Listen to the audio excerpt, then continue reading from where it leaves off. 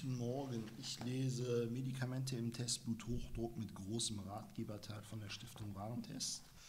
Ähm, ich bin angekommen im dunkelgrünen Kapitel Das richtige Medikament finden im Abschnitt einzeln oder in Kombination. Der geht von Seite 61 bis 63 und damit ist das dunkelgrüne Kapitel dann beendet.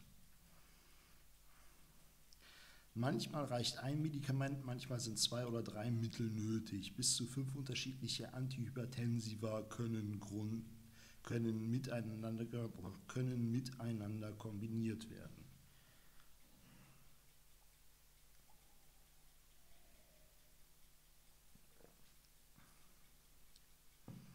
Grundsätzlich ist es sinnvoll, einen milderen Grad 1, eventuell noch Grad 2, gemäß Tabelle auf Seite 14, erst einmal mit einem einzelnen Präparat zu behandeln. Das nennt sich Monotherapie.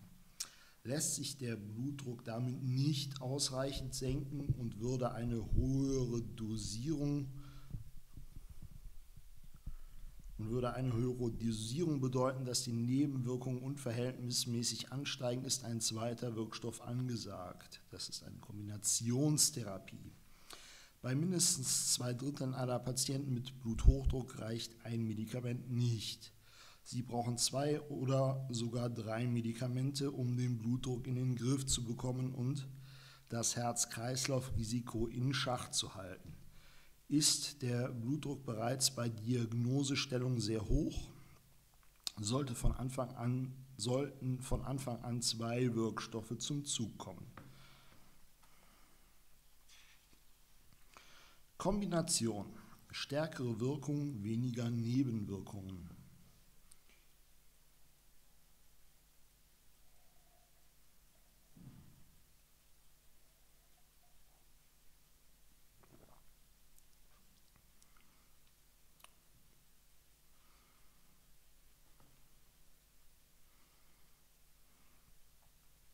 Das zweite Medikament soll aus einer anderen Wirkstoffklasse kommen. Die Mittel setzen also an unterschiedlichen Stellen im Körper an, was die blutdrucksenkende Wirkung verstärkt. Zwei Wirkstoffe aus unterschiedlichen Klassen zu kombinieren, hat einen bis zu fünfmal größeren Effekt als die Dosis zu erhöhen.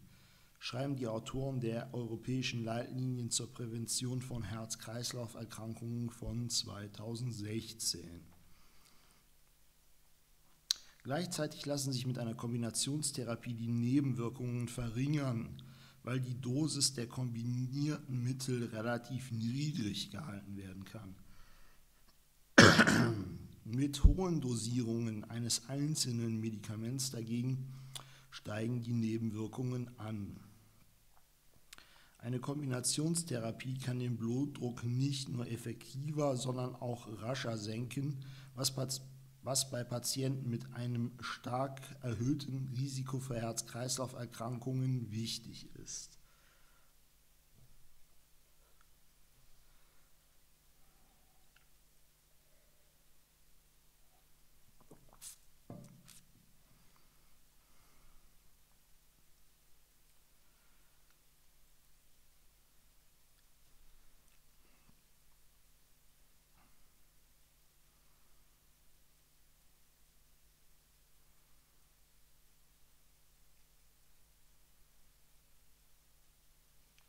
Auch eine Monotherapie hat Vorteile. Mit nur einem Medikament können Sie zusammen mit der Ärztin, dem Arzt in Ruhe herausfinden, welche das wirksamste und verträglichste Medikament für Sie ist und welche Dosierung die richtige ist.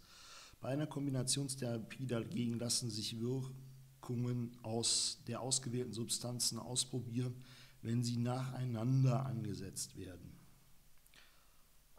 Die Kombination von ACE-Hämmer mit Calcium-Antagonist hat sich nach aktuellen Übersichtsarbeiten als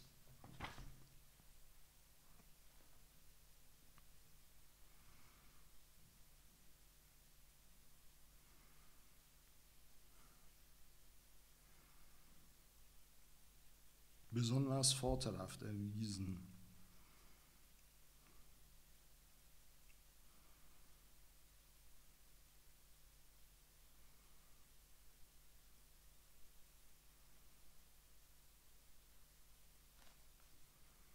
Diese Kombination ist gut verträglich und kann gegenüber anderen blutdrucksenkenden Zweiergespannen Herzinfarkten besser vorbeugen und die Nierenfunktion nachhaltiger schützen. Je nach individuellen Zusatzerkrankungen sind auch Kombinationen von ACE-Hämmer mit Diuretikum oder Beta-Blocker mit Diuretikum oder Calcium-Antagonist üblich.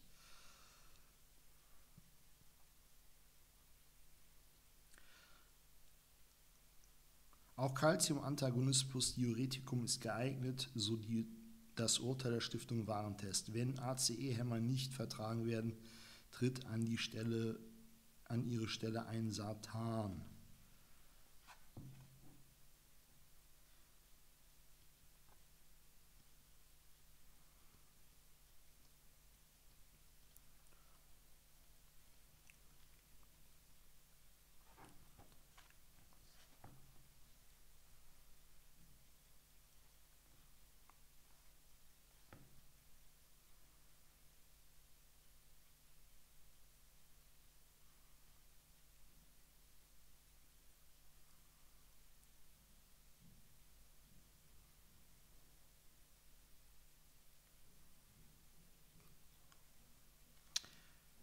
Jetzt gibt es einen Arzneicheck. Haben Sie zusätzlich zu dem Bluthochdruck einen Diabetes und sind übergewichtig? In diesem Fall sollte die Kombination von Beta-Blocker und Diuretikum vermieden werden. Denn beiden Substanzen beeinträchtigen den Zuckerstoffwechsel.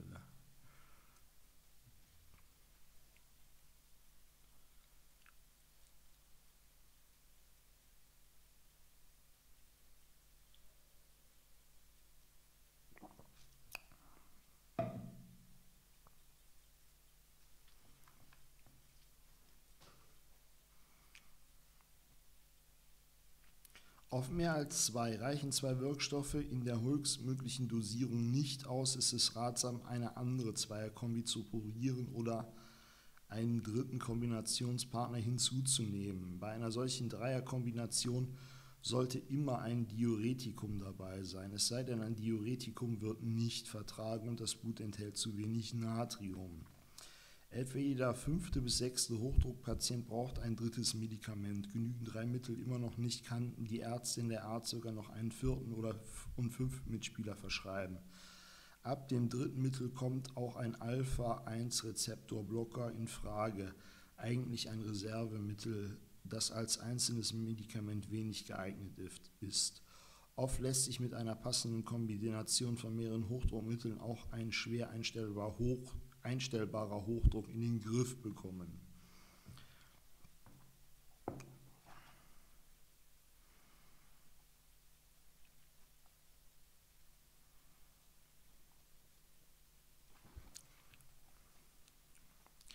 Fixe Kombinationen. Für Patienten, die mehrere Präparate brauchen, stehen festgelegte Kombinationen zur Verfügung. Das heißt, in einer Tablette sind mehrere Wirkstoffe vereint. Auch diese Kombipräparate haben Vor- und Nachteile. Vorteil für Sie, Sie brauchen nur eine Tablette zu nehmen statt zwei oder sogar mehr. Es ist bekannt, dass mit der Anzahl der Tabletten verständlicherweise die Verlässlichkeit des, der Patienten sinkt, die Mittel regelmäßig einzunehmen. Das heißt, die Therapietreue, auch Adhärenz genannt, nimmt ab. Die ist aber Voraussetzung für den Erfolg der Therapie. Nachteilig ist, dass sich die Dosis der Wirkstoffe in Kombinationspräparaten nicht mehr variieren lässt. Das Dosierungsschema gibt die starre Wirkstoffmenge vor. Deshalb kann es sinnvoll sein, vor Einsatz einer Fixkombination die wirksame und verträgliche Dosis mit Hilfe von Einzelpräparaten genau zu ermitteln jetzt farblich abgesetzt, neue Kombinationsmittel.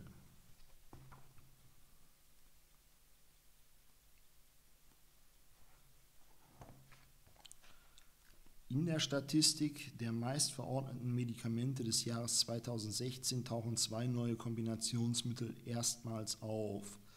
Caramlo, eine Kombination des Satans Candesartan und des Calcium-Antagonisten Amlodipin und Viacoram, eine Kombination des ACE-Hämmers Perindopril und des Calcium-Antagonisten Amlodipin. Die in den beiden Kombinationsmitteln enthaltenen Einzelsubstanzen sind jede für sich als geeignet bei Bluthochdruck eingestuft.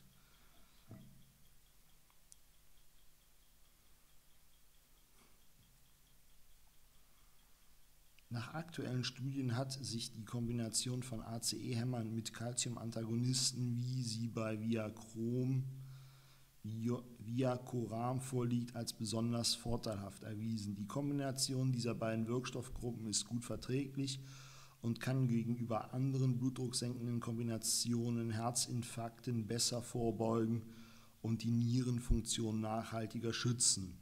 Dies gilt auch für Diabetiker mit hohem Blutdruck. Incaramlo ist anstelle eines ACE-Hämmers ein Satan mit dem gut erprobten Calcium-Antagonisten Amlodipin kombiniert. Satane wollten, sollten vor allem dann eingesetzt werden, wenn ACE-Hämmer zum Beispiel wegen chronischen Reizhustens nicht vertragen werden.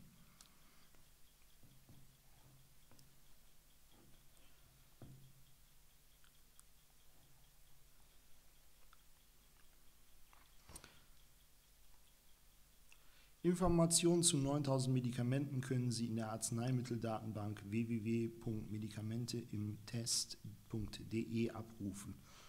Unabhängige Informationen zu Arzneimitteln finden Sie auch auf den Internetseiten www.gesundheitsinformation.de des Instituts für Qualität und Wirtschaftlichkeit im Gesundheitswesen. Gut, so, das war's mit dem Kapitel.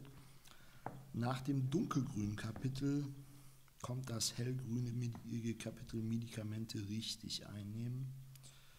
Ähm, das geht von 65 bis 82. So. Danach kommt noch Orange und Rot. Ich habe die ersten drei durch, es kommen noch drei und ich bin noch nicht ganz bei der Hälfte des Buches angekommen, da ist noch zehn Seiten. Tschüss, bis später. Amen.